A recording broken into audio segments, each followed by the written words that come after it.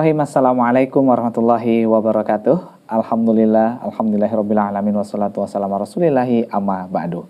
Pemirsa, kita kembali lagi di Muslim Inspiratif dan di kesempatan kali ini pemirsa, kita senantiasa mendatangkan seorang tamu-tamu yang akan memberikan kisah dan pengalaman, ya baik itu dari kisah hidupnya, atau juga mungkin pengalaman-pengalaman yang berharga yang bisa kita ambil pelajaran dari pelajaran dari kisah hidupnya atau dari perjuangannya. Dan di kesempatan kali ini pemirsa, telah datang ya di studio kita ada Bang Ian. Ya, langsung aja kita akan sapa terlebih dahulu. Assalamualaikum Bang.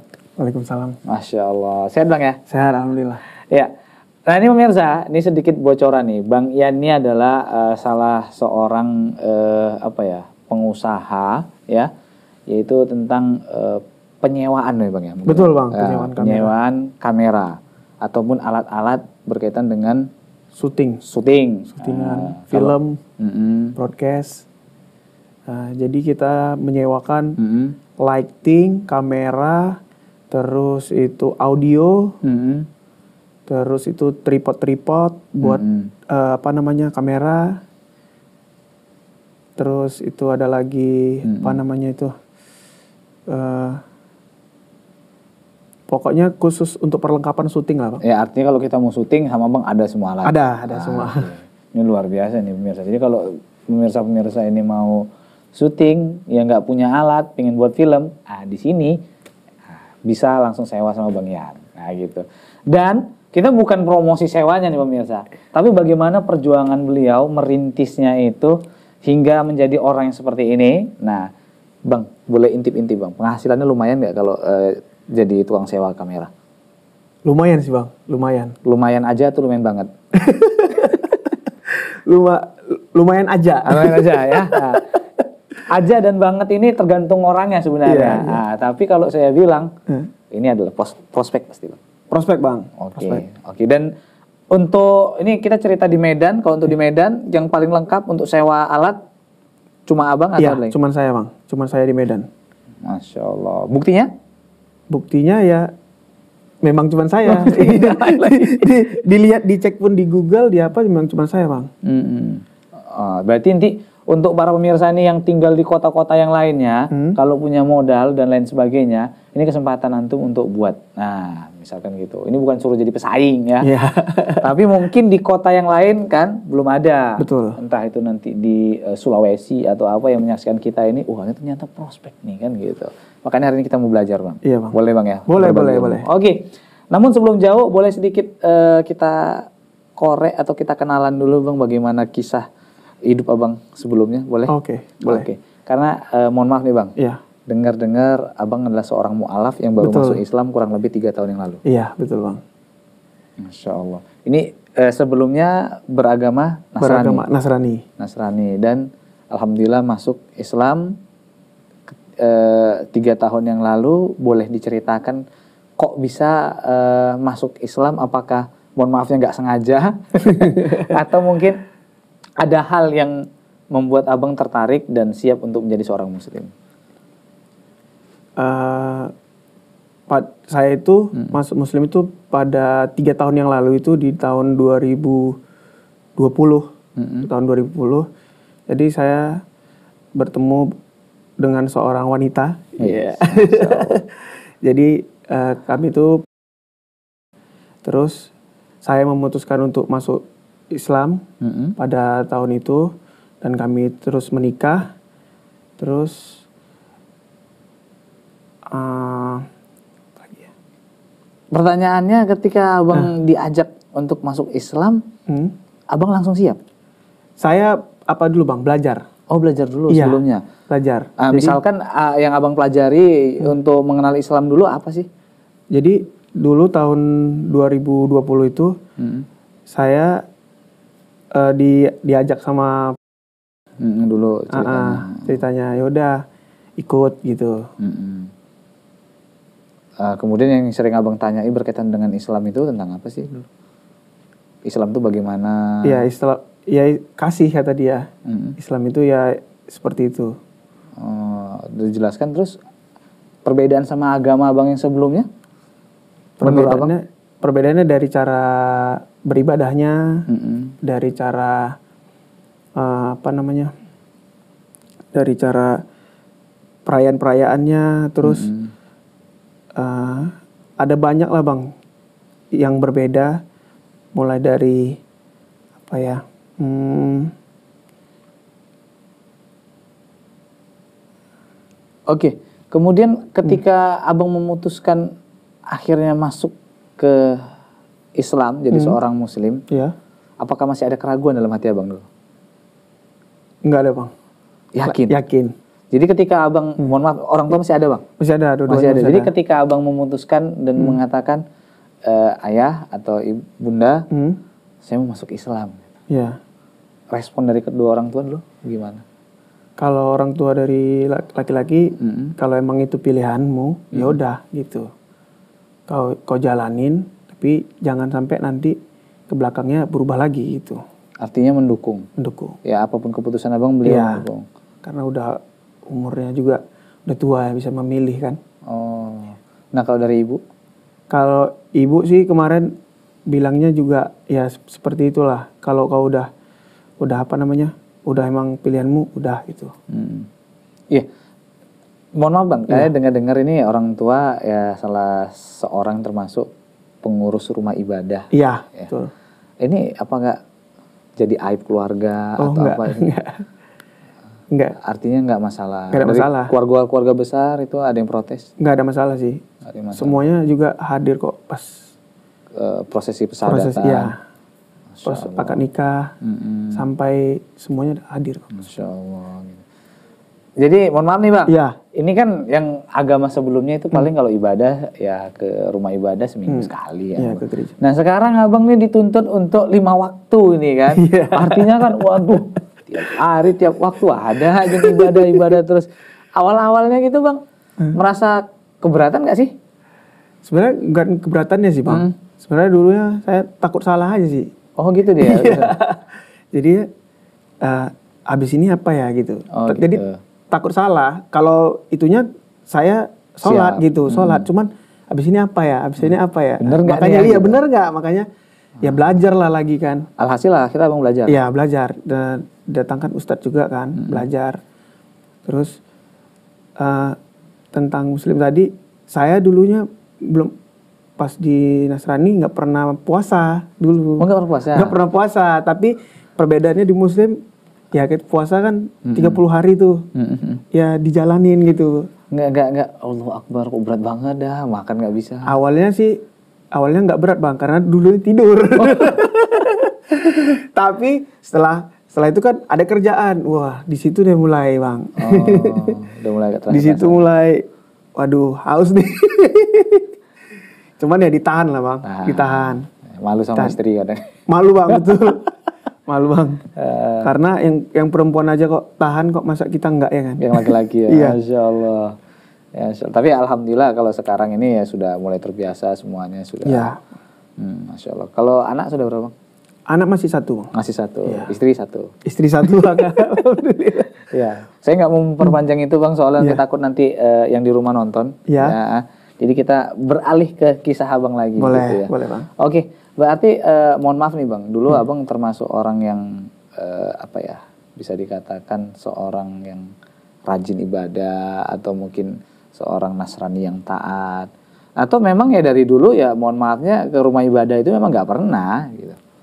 Saya bisa dikatakan di tengah-tengah lah, Bang. Nggak nggak rajin-rajin kali, juga bukannya nggak pernah juga. Oh, Nah, gitu. Karena kan orang tua kan dulu ya itu tadi pengurus di gereja. Hmm. Jadi setiap minggu saya ikut ke gereja Oh, setiap hari minggunya. setiap minggu. Nah, Insya Allah luar biasa. Jadi teman-teman yang dulu satu rumah ibadah itu ketika tahu ternyata temannya sekarang ini sudah jadi seorang muslim, apakah mereka menjauhi apa? enggak sih bang, Biasa tetap ya tetap berteman seperti biasa aja. Oh. Karena mu- karena udah sama-sama dewasa ya kan. Jadi mereka pun ya udah itulah pilihanmu gitu. Hmm. Kendala-kendala setelah abang masuk ke dalam agama Islam apakah ada? nggak ada sih bang. Sejauh ini nggak ada, Nggak ada. nggak ada. Kalau perasaan abang sekarang eh, setelah menjadi seorang muslim, apakah ada rasa lebih ketenangan lebih atau apa? Hmm, perasaannya sih ya lebih lebih lumayan tenang lah bang. Lumayan tenang. Iya. Masya Allah, luar biasa. Oke, bang, mungkin eh, yang kira-kira sering orang yang buat ragu Hmm. untuk masuk ke dalam agama agama Islam ini, Hmm. kalau boleh tahu sepengalaman abang nih, ya mungkin ada kenalan teman atau apa gitu. Kira-kira yang buat ragu apa sih? Apa karena mungkin ibadahnya terlalu banyak atau apa? Maksudnya bang gimana? Kadang kan ada ini orang kan, ah gak enak lah masuk Islam lah. Hmm. Ibadahnya banyak, bagus agama yang lain lah ini agamanya sedih. Ibadahnya ya paling seminggu sekali atau ibadah setahun sekali gitu. Terkadang apa kira-kira yang eh, pengalaman abang yang buat orang ragu untuk ke Islam? Di antaranya, Kurang tahu sih kalau. kurang tahu ya. Iya. Berarti eh, setiap orang punya alasan masing-masing. Iya mungkin bang. Karena Hmm. nggak nggak pernah nanya juga sama teman-teman yang Hmm. dulunya kenapa nggak itu gitu. Hmm. Tapi pernah nggak ada orang yang nanya, Yan kok kau masuk Islam apa sih alasanmu gitu? Atau ada yang nanya-nanya yang aneh-aneh, kok kok tega gitu? Kan kau laki-laki, seharusnya kau bawa istrimu yang masuk ke dalam agamamu dulu gitu. Gak ada. Gak ada, nggak ada yang nanya. Tapi pernah nggak terpikir eh, dulu awal-awal Eh. ketika abang masih apa ya belum menikah gitu, Hmm. Ya daripada aku yang masuk Islam, bagus aku ajak istriku untuk ke agamaku gitu dulu. Nggak terpikir nggak juga. pernah pikir bang. Berarti artinya siap dengan konsekuensi ketika ingin menikahi seorang muslimah, aku harus jadi orang seorang muslim. Iya, karena kalaupun misalnya dulu itu Hmm. aku yang pernah kepikiran itu nikah dua agama. Oh, Dulunya, gitu. dulunya kepikiran gitu. Nikah dua agama kalau kalau misalnya uh, win-win solutionnya si apa namanya aku nggak diperbolehkan sama orang tua, Mm-mm. kayak gitu. Tapi ternyata uh, pas minta izin sama orang tua, ya orang tuanya alhamdulillahnya mem- apa namanya mem- memberi izin gitu. Hmm. Win-win solutionnya gitu. Kalau misalnya kan namanya udah sama-sama sayang nih kan sama sama si sama istri yang dulu kan. Eh si istri dulu. sorry, sorry. sama istri kan. Jadi Ah. Ya udah coba tanya aja. Coba Tapi tanya sebelumnya aja abang gitu. udah tahu nggak nih, bahwasanya dalam hukum Islam nih, Hah? eh, seorang muslimah itu tidak boleh menikah dengan laki-laki Hmm? yang bukan seorang muslim.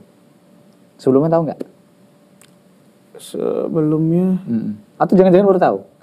ah udah udah, udah tahu udah, Udah tahu, tahu udah ya? tahu udah tahu Ah. udah tahu itu itu emang udah harga mati bagi muslim kan bang Baik ya bagi Iya. muslimah. Hmm. Sudah tahu itu sudah, sudah, tahu. tahu. Berarti sudah siap konsekuensi Iya. ketika memang sudah terlanjur cinta, terlanjur sayang, iya siap untuk menjadi seorang muslim. siap Masya Allah. Oke, semoga aja bang menjadi seorang imam yang bisa membimbing istri dan anak-anaknya nanti menujunnya surga Allah. amin Oke bang, insya Allah nanti kita setelah ini akan eh, ngobrol lagi berkaitan dengan usaha bang. siap Ya, yaitu tadi di Mukadimah tadi sudah kita sampaikan yaitu masalah rental-rental alat untuk syuting. Ya. Oke, dan mau tahu juga sih katanya satu-satunya di Medan itu cuma abang yang alatnya lengkap. ya Makanya mau tahu emang alat-alat abang apa-apa aja yang ada. ya Karena tadi abang cerita berawal abang adalah seorang pilot drone. betul bang Ya, jadi bagaimana kisahnya? Nah, pemirsa jangan ke mana-mana. Ya, karena setelah yang satu ini kita akan ngobrol lagi bareng Bang Ian. Kira-kira bagaimana prospek dalam bidang usaha sewa menyewa alat ya syuting. Jangan ke mana-mana, tetap bersama kami di Muslim Inspiratif.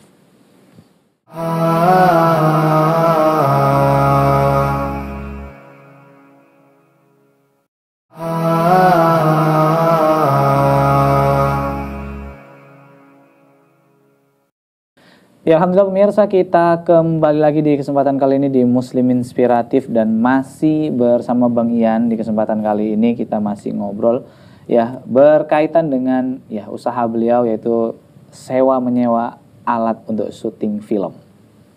Ya Bang, ya mulai terjun dalam bidang sewa menyewa itu tahun berapa? Masih ingat? masih ingat bang di tahun 2015 2015 Ya. berarti sekitar 8 tahun. 8 tahun Ya, awalnya itu eh, Abang melihat ini adalah sebuah prospek itu dari sengaja atau memang ya karena hobi ngumpuli alat-alat itu hingga eh, kayaknya kok banyak kali daripada bersemut di sini bagus kesewakan gitu. Awalnya sih nggak sengaja sih bang. Oh. Karena dulu saya itu sebenarnya hobinya traveling. Oh, traveling. Jadi saya dulu sering sering keliling-keliling Danau Toba. Ah, ah. Jadi saya videoin diri saya sendiri, terus pakai drone. Oh. Nah saya posting lah di Instagram. Mm-mm. Nah di Instagram itu ada eh, videographer kontak saya, bang bisa nggak ngedrone orang wedding? Mm-mm. Jadi awalnya sih itu dulu bisa bang, gitu kan? Mm. Terus di situ saya dapat dapat duit lah, dapat fee lah kan. Terus lama-lama kok enak ya kan? Em- emang dulu sebenarnya tarifnya itu satu video drone. Hah? Dulu dulu awal satu video itu Hah? satu juta bang, kerjanya cuma dua jam, dikasih satu juta. Tapi ternyata itu satu juta itu kemurahan. Emang pasarannya berapa sih? Kalau di Jakarta itu sampai 3 juta ke 4 juta. Wow. Jadi saya itu dulu kasih rate-nya, abis kan saya dikasih satu juta tuh. Hmm. Habis itu saya naikin harga dong, karena saya udah tahu. Sebelumnya belum. Sebelumnya tahu belum, ya udah dikasih sejuta ya udah terima aja gitu kan. Heeh. Jadi saya naikin ke 2 juta ke, sampai dua setengah, sam- tergantung berapa jamnya. Berarti berawal dari abang hobinya itu jalan-jalan sambil eh, mohon maafnya Ngevideoin diri sendiri. videoin diri sini selfie selfie ya video. Dari situ lah abang. Dulu alat abang cuma drone sama kamera. Drone kamera doang. Kamera dulu kak jenisnya. Jenisnya ada GoPro, ada kamera Fujifilm dulu. Ya udah saya saya sambil jalan-jalan saya videoin, naik motor, drone-nya diterbangin sambil jalan gitu. Oh. Jadi kan Danau Toba tuh kan cantik tuh. Jadi kan banyak tuh like likersnya jadinya. Jadi Orang abang suka. udah Danau Toba udah keliling semua. udah udah udah ditawafin ternyata. sampai ke Papua dulu juga, ke Bali dari drone, sampai naik kapal pesiar juga dari drone. Ada orang wedding di kapal pesiar, di dronein tuh. Oh gitu. Dari drone dulu. Masya Allah. Pernah celakaan nggak di drone-nya? Kalau drone-nya sampai sekarang ini korbannya lima yang lima drone jad- jadi korban. Wow, banyak juga rupanya ya. Banyak bang. Mhm. Lima drone, tapi semuanya itu pas, udah balik modal lah. Udah bang, alhamdulillah ya udah balik modal. Kalau nggak ada tutup gitu bang. ya artinya kan udah terbayar dia perjuangan drone itu sampai dia meninggal tadi kan. Iya Nah, betul bang. Masya Allah, berarti sejago-jagonya pilot pernah juga jatuh bang. ya? Wajib bang. Wajib ya? Wajib. Oh, berarti kameramen kami belum pernah jatuhkan drone ini nampaknya nih Bang Padlan nih. Bang Padlan ada rencana menjatuhkan drone nggak antum? Ya. Masya Allah. Oke. eh, jadi berawal dari situ akhirnya terbesit abang untuk melengkapi alat-alat tersebut atau ada permintaan dari klien? Iya, jadi kan dari situ kan relasi kan bertambah tuh bang. Karena kan di Medan itu cuman ada lima orang mungkin bang yang punya drone pada masa itu. Jadi eh, lebih, lebih eh, callingan tuh banyak jadinya. Callingan banyak, job itu banyak. Jadi kan relasi bertambah. Mm-mm. Nah di situlah saya ketemu beberapa freelance freelance fotografer, videografer. Eh, dia itu ngeluh, aku nih banyak job hari ini, tapi kameraku nggak ada, kata dia begitu. Oh, Kamu kamu beli kamera nggak? Kata dia. Ditawarin kan. Kenapa? Aku mau sewa. Ya udah aku beli kamera satu, kau berani sewa berapa gitu kan? Hmm. Dia bilang 300 gimana? Cocok. Ya udah aku ke toko kamera, aku beli ini malam ini aku bilang gitu Mm-mm. Ya udah aku beli terus disewanya dari situlah dari mulut ke mulut awalnya bang Oh, tiga ratus ribu bang? tiga ribu sewanya 24 Oh, murah jam bang. Oh murah banget. Oh itu belum sama lensa? udah sama lensa. Oh, udah sama lensa. pada masa itu aku juga belum tahu rate-nya bang Oh, belum belajar gitu. jadi itu istilahnya ya itu belajarnya lah gitu kan Mhm. ya udah aku beli 28 juta dia sewa itu 300 ribu per hari Hmm. per hari jadi satu kali job dia kasih aku 300 dari situ mulut ke mulut bang jadi saat, pada hari itu ada satu hari itu ada empat orang yang mau nyewa sementara kamera itu masih satu Oh. Jadi bingung kan gimana? Yaudah, saya pinjam lah duit ke orang tua pada itu. Mm-mm. Yaudah saya pinjam, saya belilah dua, tambah lagi kan dua. Jadinya jadinya gitu. Terus pada saat saya main-main ke Bali, saya lihat ada rental kamera. Mm-mm. Sistemnya oke dan dia terbuka untuk semua orang, bukan hanya teman aja. Nah, di Siapa situ- yang mau siapa bisa. yang mau, siapa aja orang yang kenal pun boleh nyewa. Tapi kan resiko itu bang. Iya, pada masa itu kan aku nggak, aku kan nggak berani, harus yang kenal aja. Nah, jadi setelah itu saya pelajari tuh sistemnya di Bali. Di Bali. Dan yang pemilik tadi welcome untuk abang Welcome. belajar. Jadi di Bali itu pada itu dia harus meninggalkan empat data diri. Misalnya abang nih mau sewa, Mm-mm. Ya abang harus meninggalkan data diri abang seperti KTP, Mm. SIM, Mhm. paspor, NPWP, KK, boleh. Pokoknya empat data diri abang tinggalkan di saya, saya berikan itu merah. Empat data diri ini pilihan atau keempatnya? Empat empatnya Oh. boleh terserah. Pokoknya data diri abang gitu. Bahwasanya itu itulah menunjukkan iya abang seriusan abang memang abang ada proyekan gitu. Mm-mm. Ditinggal. Boleh juga deposit. Oh gitu juga. Kalau abang merasa data diri abang itu privasi, ya udah abang tinggalin deposit. Minimal Seharga barang. oh, harga barang Iya, contohnya 25 juta ya udah abang transfer ke 25. Setelah abang selesai, dipulang. dipulangin duitnya gitu. Begitulah sistem yang ada di Bali kemarin itu dan saya terapin di Medan. Hmm. Pernah dibawa lari? Walaupun sudah dengan eh, betul, prosedur Bang, yang betul, tadi betul. ya. Sekarang lagi berjalan bang proses hukumnya bang. Oh berarti pernah juga berarti? Wah sering lah bang. Saya kira kehidupan ini lancar. enggak, enggak, enggak. Itu resiko bang. Dibawa lari bang. Setiap bulan wajib sekali lah bang. Oh, Ke kantor Akbar. polisi silaturahmi. Jadi ya itu emang resikonya sih bang kalau rental bang. Sama kayak rental mobil juga. Oh gitu ya. Iya, Tapi lepas kunci kan. Rata-rata kembali al- barang itu. Eh, rata-rata yang semua itu kembali. Nah yang ini, ini orangnya nggak bisa dihubungi bang.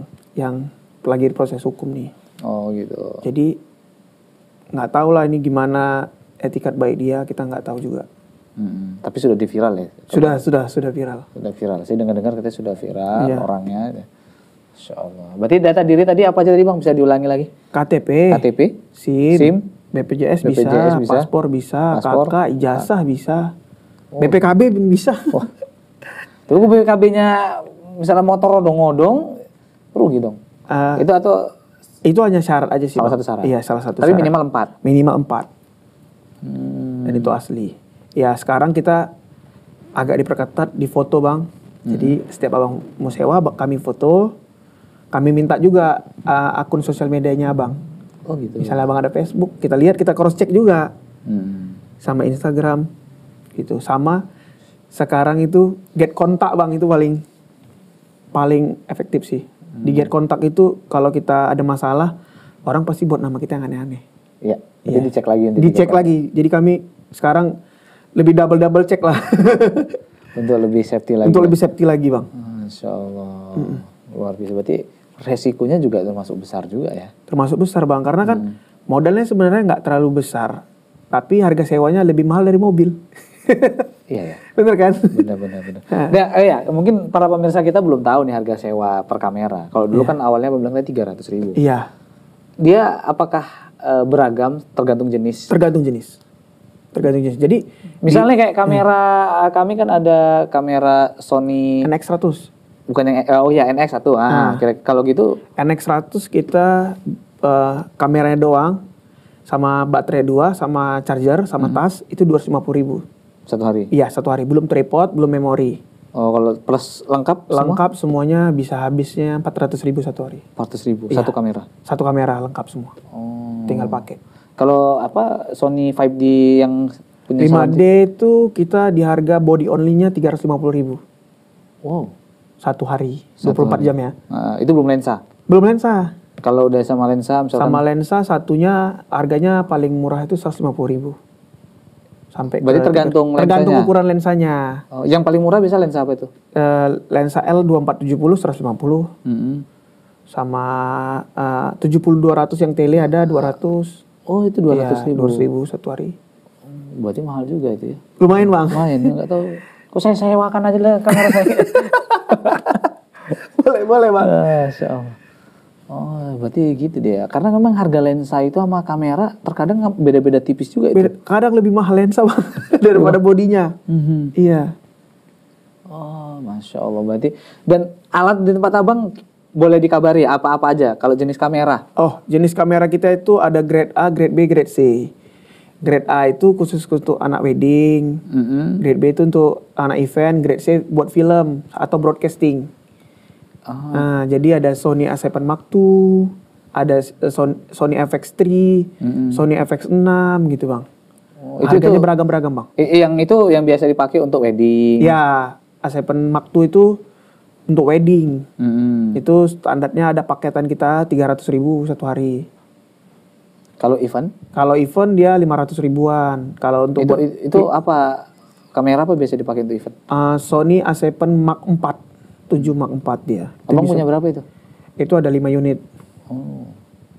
Kalau yang awal tadi? Yang yang A7 Mark II itu ada 12. 12 unit. 12 unit. Banyak juga rupanya. Banyak, Bang. Nah, untuk yang biasa uh, buat film, biasa pakai kamera Sony FX6. Itu harga sewanya 1 juta. Satu. Satu. Satu hari dulu. Udah sama lensa? Belum, body only. Oh. Jadi paketannya itu 3 juta. Dapat lensa 5, dapat monitor, dapat tripod gitu. Oh, ada monitornya lagi. Iya, khusus buat film lah. Hmm, itu tapi satu kamera. Kalau dua berarti kalikan. Iya. Itu satu kamera. Kalau dua satu paket berarti 6 juta.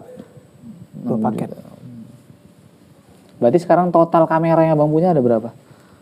Kalau ditotalin semuanya grade A, grade B, grade oh. C ya. 50 ada bang. Uh, grade C-nya itu biasa kamera apa bang yang dipakai untuk film tadi ya? Eh, grade, enggak, grade C itu wedding. Oh untuk wedding ya? Iya, grade A itu untuk film. Ah, grade B event. Hah? Event event biasa pakai apa? A7 Mark 4. Ya, A7 Mark 4 dia. Hmm. Itu buat buat event. Bisa disewa berapa kamera kalau ada orang buat event? Buat event kalau konser lah kita bilang bang, hmm. itu kalau dari Jakarta biasa itu lima, lima, lima kamera itu khusus buat highlightnya doang, fotografernya tiga. Hmm. Terus belum live-nya ya, live cam-nya, khusus live cam-nya itu tergantung mau empat kamera mau tiga kamera. Oh gitu. Bang ini kalau kita cerita mobil, saya mobil itu iya. kan ada istilah katanya lepas kunci ya, sama pakai supir. Ya. Nah kalau abang sendiri apakah ada istilah lepas kamera dan juga ada pakai kameramennya gitu? Jadi kalau di tempat kita itu namanya bukan supir bang, pengawal. Oh pengawal ya? Iya, jadi misalnya yang kamera yang paket 3 juta itu, mm -hmm. itu wajib pakai pengawal bang. Jadi nggak mm. kita kasih lepas. Mm -hmm. Ya kalau dilarikan sakit juga kan. Jadi kita tetap pakai pengawal. Jadi pengawalnya itu tugasnya mengawasin kamera, mm -hmm. terus ngecas baterai, mm -hmm. nah, terus diangkatin lah kameranya misalnya pindah set dari sini ke situ gitu dibantu angkatin oh. gitu. Tapi kameramen dari mereka. Dari mereka boleh. Kita juga ada menyediakan kameramen bang. Oh ada juga. Ada juga kameramen, fotografer, videografer. Itu video uh, apa namanya pegawai abang atau freelance? Freelance bang. Oh, freelance. Jadi teman-teman kita yang sering nyewa, mm -hmm. jadi kita mintain nomornya. Jadi ketika ada proyekan yang emang butuh jasa mereka, ya kita saling kolaborasi lah. Oh ya kita kasih nomornya si yang sering sewa itu gitu.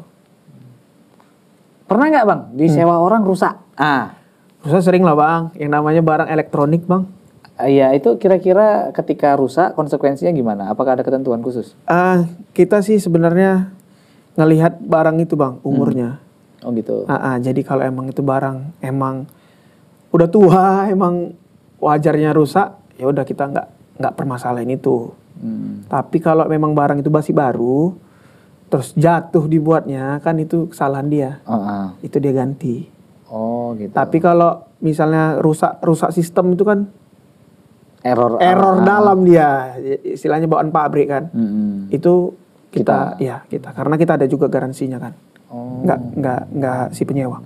Oh gitu deh sistemnya. Kalau Lebih tepatnya sih dia buat itu kena air atau jatuh, ah itu itu dialah kalau error-error dari dari si pabrik itu kita tanggung jawabin. Oke. Kira-kira Bang antara kerusakan dengan hmm. eh, pemakaian itu apakah selalu untung hmm. atau enggak atau pernah juga Abang baru beli tiba-tiba udah error? Kita jawab nanti. Oke. Okay. Kita rehat dulu insya Allah. yeah. Nah, jadi pemirsa di mana pun Anda berada, jangan ke mana-mana. Karena setelah yang berikut ini kita akan ngobrol kembali bareng Bang Ian bagaimana uh, dengan bagaimana cara kita ya kalau menjadi seorang tukang nyewakan alat ya terkhusus berkaitan dengan elektronik seperti kamera yang harganya lumayan itu jangan ke mana-mana tetap bersama kami di Muslim Inspiratif.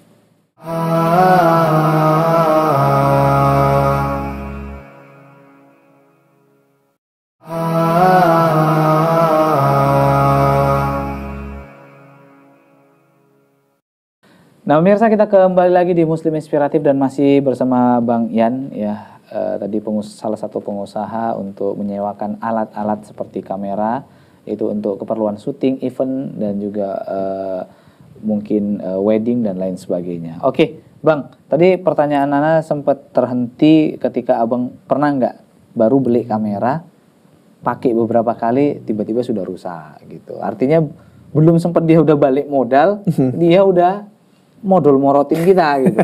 Nah, pernah pernah, pernah bang. Jadi itu aku kemarin uh, lima bulan yang lalu mm -hmm. aku beli Sony FX6 mm -hmm. itu harganya 100 juta. Mm -hmm. Baru job kedua dia itu langsung blank. Baru job kedua, baru mm -hmm. dua kali kedua kalinya keluar dia langsung blank. Ternyata dia kena SC-nya dia kena apanya mainboardnya. Mm. Itu kesalahan pabrik. Oh. Ada garansi biasa itu bang? Iya, alhamdulillahnya ada garansi pak. Oh. Aku juga udah keringat dingin tuh kan kemarin ditelepon sama orangnya kan, bang rusak kata dia kan. Uh, aku langsung terbang, eh langsung ke sana. Ya udah aku cek, aku bawa langsung gitu ke toko. Hmm. Alhamdulillah tokonya mau kasih barang baru langsung. Oh, untung aja. 100 juta loh. 100 juta bang. Nah. Aduh, dia yang nyewa juga udah keringat dingin bang. Iya takut udah dong. keringat dingin, udah gak selera makan dia. Hmm. Hmm. Oh, seperti gitu juga berarti ada suka yeah. dukanya. Tapi rata-rata memang alat elektronik ini memang e, masanya itu berapa tahun sebenarnya, Bang? Uh, sebenarnya kalau sekarang itu Bang kamera itu lebih ringkih sih, Bang. Hmm. Karena ada itu kamera Sony itu dia cuma 8 bulan wajib kita koyak 800 ribu uh servis karena kabel fleksibel oh iya, iya. iya jadi setiap 8 bulan ya aku nabung lah tuh bayar itu gitu. Hmm. Wajib kena itu bang. Berarti walaupun kita elektronik ini biaya perawatan tetap harus tetap ada. Tetap ya? ada bang, tetap ada. Kayak mobil, motor itu kan ya. servis. Kalau ya. kalau mau untung ya kita harus belajar betulinnya. Ya kita beli beli aja langsung dari dari luar negeri spare partnya udah kita pasang sendiri gitu. Mm -hmm. Dan itu juga udah bang pelajari. Sedikit sedikit bang. Sedikit sedikit. Sedikit sedikit. Ya? Hmm. Kalau udah nggak ngerti nanti lempar ke servis. Masya Allah berarti tantangannya gitu juga ya. Iya. Oke selain kerusakan hmm. dan juga dibawa lari orang hmm. dan apalagi yang udah kita sebutkan kira-kira ada lagi bang kira-kira tantangan dalam uh, resikonya paling ditukar lah bang. Pernah? Iya pernah pernah aja lah bang. Namanya barang kita banyak kan. Ada yang sengaja dan ada yang tidak disengaja. Kalau yang nggak sengaja mungkin nggak nggak tahu barang dia tuh gimana. Eh, jadi kan setiap barang kita itu kan kita stiker dan kita apa namanya uh, kita kasih tanda lah. Kadang-kadang emang nggak sengaja karena kan di satu tim itu ada 15 fotografer, videografer kan campur di situ. Hmm. Jadi ya nyarger nyarger nyarger terkadang dia terambilnya barang kita dipakai dia kan hmm. nggak hmm. sengaja tapi ada yang emang sengaja emang udah diniatkannya barang ini baru nih gitu. Oh gitu ya. Iya ada. Di di, di roket baterai atau di roket? Iya baterai kan lumayan berarti satu satu setengah satu koma lima juta kan. Hmm. Pernah juga gitu. Pernah Berarti bang. harus kita cek lagi setelah pengembalian dia. Pasti bang wajib semuanya wajib. Hmm. Karena itu ya sebagian dari risiko lah. Hmm, Masya. Bang ini kebanyakan kita kan kalau sama orang yang gak kenal mungkin kita hati-hati banget itu. Betul. Tapi kalau sudah sama kawan terkadang hmm ala udahlah sih ya yang mana mungkin gitu. Ya. Apakah sistem itu abang terapkan juga? Atau walaupun siapa pun orangnya, mau saudara, mau kawan satu tempat tidur, tetap prosedur harus tetap berjalan. Betul bang. Karena dulu itu saya seperti itu bang. Hmm. Kalau kawan ya udahlah nggak mungkin dia nggak mungkin dia melarikan, nggak hmm. mungkin dia nukar ya kan. Tapi setelah sekarang-sekarang wajib lah bang. Karena kawan pun kadang-kadang BU juga. jadi dilihatnya kita ya dianggap kita duit kan ya udah hmm. gitu. Makanya sekarang siapa pun itu mau siapa pun tetap aja prosedur ya prosedur gitu. Hmm. bisnis is bisnis bang. Temannya teman gitu. Oh, gitu. Tetap prosedur tetap iya karena kawan pun mau makan kawan juga bang. Iya juga ya. Iya. Hmm, berarti tetap harus hati-hati tetap tetap harus kalau iya sekarang ini aku harus aku terapin sistem itu bang. Harus hmm. hati-hati hmm. siapa pun itu. Hmm, Masya Allah. Oke, kita balik ke ini bang, e, keuntungan boleh sedikit ya kita boleh. agak singgung. E, jadi setiap hari ada aja yang nyewa bang? Uh, ini karena bulan 12, mm-hmm. ini rame nih uh, pemerintah-pemerintah, ada acara-acara. Betul. Uh, apa namanya tutup buku lah kita bilang kan. Yeah. Di bulan 12 ini di sinilah apanya Bang puncaknya. Bulan 11, bulan 12. Tiap hari ada terus. Tiap hari ada. Uh, biasa satu hari itu berapa alat yang disewa? Gak tentu sih Bang. Rata-rata? Rata-ratanya ada kalau ini 20 lah paling. 20 alat setiap hari. Setiap hari.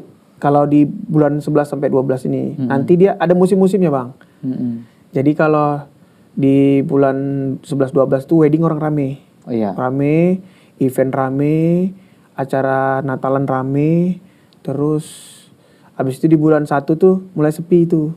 Oh. Nanti sebelum lebaran tuh rame orang wedding. Oh, lagi. Naik lagi event kan. Baru habis itu ada wedding channels rame. Ah ini wedding channels rame juga nih. Oh. Karena menurut apa itu mereka bagus tuh tanggalnya. Oh gitu dia. Ah. Berarti tergantung apa ya hari-hari tertentu. Bulannya, iya bang. Iya. Gitu. Ada bulan suruh katanya itu nggak boleh. Oke ya mungkin kepercayaan orang kepercayaan di situ, iya. jadi agak sepi di situ. Agak sepi di situ wedding. Tapi tetap ada. Tetap ada, kan ada event, ada film, mm -hmm. ada uh, company profile. Nah. Oh, berarti tiap harinya bisa dibilang kalau tiap bulannya hmm. ada berapa kali tetap tetap ada ada event ada. olahraga kayak kemarin di Danau Toba balap kan ah iya balap betul. balap rally ada yang kemarin jet ski oh itu pakai alat kita pakai alat kita dari Jakarta juga mereka malas bawa ya bang dari Jakarta. Ya sih resiko. Ya, mending iya mending sewa di di lokasi aja di tempat gitu. Hmm. di daerah. Masya Allah. Berarti ini termasuk apa ya? Prospek juga karena banyak orang yang uh, menyewa ke kita. Betul bang. Kadang-kadang nggak nggak nggak ada barang bang. Sampai segitunya? Sampai segitunya. Emang dari 50 jenis kamera yang udah pernah abang miliki masih ada yang belum punya sebenarnya bukan belum punya sih bang. Kebutuhannya meningkat ketika ketika misalnya ini kan bersamaan event mm -hmm. wedding bersamaan tuh bang. Jadi karena kita cuma satu-satunya ya orang kan ke situ semua. Oh. seperti kita uh, misalnya presiden datang. Mm -hmm itu kan banyak orang uh, dari brand-brand misalnya kayak Pertamina, hmm. kayak BUMN, mana.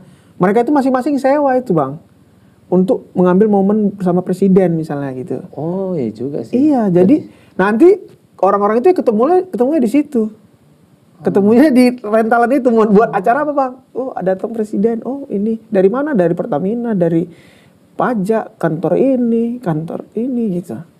Oh iya juga ya, dia buat tim dokumentasi sendiri. Iya, ya? buat dokumentasi sendiri karena kan petinggi-petingginya bakal ketemu sama presiden pasti mau difotoin dong. Iya. iya itulah. Iya, gak, gak mau pakai HP.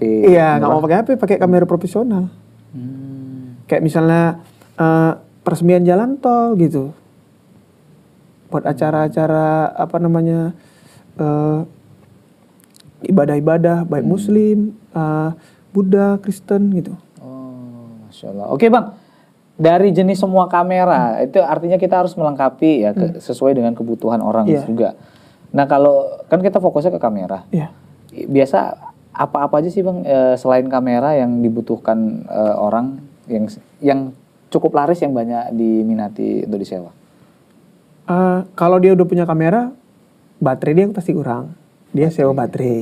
Oh. Kabel-kabel HDMI yang perintilan-perintilan pun pasti dia juga butuh, butuh hmm. kayak kabel SDI, kabel HDMI, audio gitu. Oh. GoPro. Oh, GoPro untuk ya untuk dalam air. Hmm. Kan syuting dalam air juga mungkin kebutuhannya ada kan. Hmm. Sampai mobil produksi juga ada. Maksudnya mobil produksi APV. Jadi dia kalau sewa banyak tuh satu set misalnya buat kalau buat uh, buat film itu Bang, biasa satu apa Bang? Satu truk. Ya. Banyak. Jadi kita sediain tapi masih mobil APV aja yang tertutup. Iya, mobil kecil. Iya. Hmm. Oh, berarti sekalian mobil sewa juga. Sekalian mobil sewa juga sama supirnya. Jadi one stop service. Oh. Jadi sekalian udah sewanya di sini aja semuanya gitu. Lighting. Lighting. Lighting tuh abang punya juga semua yang kayak konser tuh. Oh banyak. Uh, enggak, kita lebih lightingnya lebih ke film bang. Oh film kayak lighting lighting apa? Ya lighting lighting kayak gini production begini. Hmm. Kemudian selain lighting, audio, audio kita punya uh, mic kayak gini yang kita pakai sekarang. Uh, ya. Terus habis itu alat podcast, mic podcast. Oh ada juga. Ada juga. Jadi kita mixer, mixer, switcher, switcher uh, video gitu, hmm. monitor recorder. Hmm. Uh, apalagi ya khusus memori memori pun mahal-mahal bang kalau yang khusus film bang. Oh beda deh ya? Beda. Satu memorinya 5 jutaan. Oh itu yang Itu berapa? pun kadang-kadang mau orang sewa itunya aja gitu. Oh, itu kapasitas berapa giga itu bang? Uh, giganya sih sebenarnya 80 GB, tapi Kecil. kecepatannya bang. Oh, karena butuh cepat ya? Iya, kecepatan karena kan recordnya itu kan mm-hmm. lebih tinggi dia speknya kayak 4K, ya, 6K gitu kan. Mm-hmm. Memori yang biasa nggak sanggup. Mm-hmm. Gitu sih. Oh, Masya Allah, berarti banyak juga ya? Iya, kebutuhan fotografi banyak lah bang. Dan press. itu biasa abang upgrade terus setiap bulannya atau memang dia ada masanya atau ya kapan ada duit sisa eh tambah alat lah tambah alat. Kan udah berawal dari abang ya, drone betul betul betul. Di upgrade terus bang? Di upgrade terus. Iya di upgrade terus. Ya kalau kayak bisnis rental ini semakin kita upgrade semakin bagus apa kita pasarnya. Karena hmm. orang mau ini kita ada sekarang yang buat asap-asap juga itu. Iya. Iya orang butuh. Troli sekalipun orang butuh. Pembatas itu pun butuh ya. Jadi kita harus diain Sediain kursi semua. juga meja. Itu kita studio ada juga. Studio kemarin ada di lantai dua kan. Hmm. sekarang udah kita iniin. Udah nggak ada lagi. Hmm, berarti sempat juga. Sempat juga sempat. Oh. karena kursi pun kita sewain bang sama meja. Tenda juga. Uh. jadi ketika udah set buat film kan udah satu set tuh semua hmm. nah, ada tendanya ada kursinya jadi orang bisa duduk di situ kan talent talentnya kan hmm. Oke. Pegawai abang semua ada berapa bang? Pegawai yang di kantor itu tiga, tiga. cuman freelance kita ada tiga tim. Oh banyak juga. Ya, hmm. sekitar freelance kita ada lima belasan. Lima belasan orang. Mm -mm. Oh berarti pegawai nggak terlalu banyak ya bang ya? Nggak, kalau di kantor stay-nya nggak terlalu banyak. Uh, tugasnya masing-masing cuma jaga alat. Jaga alat, balasin chat uh, adminnya. Mm -hmm. Terus uh, ngecek alat pas pulang. Itu aja. Itu aja. Oh, berarti kalau nggak seperti apa ya pekerja apa yang pabrikan harus banyak orangnya. Oh enggak, enggak. Ini cukup jaga itu aja. Iya cukup. Eh empat dik satu lagi khusus uh, desain. Oh ada juga desain. Desainnya jadi ketika kita ada barang baru postingnya di sosial media hmm. itu desainnya langsung udah up. Masya Allah. Uh, berarti sudah banyak PT-PT yang apa ya produksi film itu nyewa sama bang juga banyak. Banyak bang, lumayan bang. Lumayan. Seingat abang film apa yang setahu abang hmm. yang ini pakai hasil kameraku nih gitu, yang terkenal ada nggak? Film lokal sih bang. Film lokal ya iya. rata-rata ya. Uh, kalau untuk film-film yang syuting nasional, sini, nasional belum bang. Tapi artinya masih komunitas lokal. Komunitas lokal, komunitas film lokal hmm. Medan. Oke bang, sebenarnya masih uh, pengen sih uh, ngobrol panjang bareng abang dan bagaimana teknik apa ya marketing marketingnya menarik pelanggan tapi waktu kita nggak terlalu banyak. Mungkin yeah. terakhir bang, hmm. ya terkadang kita punya alat banyak nih bang. Yeah. Ya. Uh, tapi untuk apa ya nge-branding kita ini adalah tukang nyewain alat hmm. itu kan sulit. Betul. Gitu. Nah kalau abang dulu tekniknya seperti apa? Tekniknya dulu awal-awalnya bang sebelum ada toko. Ya. Sebelum ada toko itu saya itu COD. Hmm. Jadi alatnya seperti mobil ketemunya di tengah. Oh gitu. Iya, dulu kan saya masih banyak waktu tuh kan. Hmm. Jadi saya main ke komunitas langsung di mana komunitas itu nongkrong base campnya saya masuk ke situ. Oh gitu. Ngobrol jadiin teman. Cakap-cakap. Dari situ dia pasti kasih tahu keluh kesahnya. Kami ini kurang alat ini, kami ini butuh alat ini kata dia gitu. Nah dari situlah kita tahu prospek ke depannya, oh aku butuh ini, aku butuh flash nih, mereka ini kekurangan flash, mereka ini kekurangan lighting, oh. kekurangan lensa, baru masuk ke komunitas lainnya, duduk di situ, baru habis itu begitu barangnya ada, ya udah update di sosial media. Di sosial media cukup. Iya, atau langsung japri, boy, aku udah ada nih barangnya yang kau kemarin bilang. Masya Allah. Jadi kan langsung tepat sasaran bang, mm -hmm. kebutuhannya gitu ya. Iya. Berarti tekniknya tetap harus terjun ke pasar juga. Dulu. Dulu. Kalau sekarang kan orang udah tahu kan, udah kenal, udah kenal ya udah update di sosial media aja. mereka langsung langsung japri tuh udah ada bang udah aku pakai ya gitu ya berarti Iya. ya. Oke bang, makasih banyak bang udah datang ke Muslim Inspiratif dan Siap, semoga Bang. saja Sama-sama. menginspirasi buat para teman-teman pemirsa kita yang menyaksikan kita di kesempatan kali ini. Ya semoga bermanfaat apa yang kita simak dan semoga anda terinspirasi untuk membuka lapangan kerja, untuk membuka sebuah usaha yang akan meningkatkan perekonomian Muslim, ya terutama minimal untuk keluarga kita dan agama kita ya. Makasih sekali lagi bang. Siap, Bang. Jazakallah khairan. Semoga sehat selalu. ya Semoga keluarganya menjadi keluarga yang sakinah mawaddah warahmah, rezekinya lancar, Amin. berkah, dan semoga aja nanti ya, kita dikumpulkan di surganya, Bang. Amin.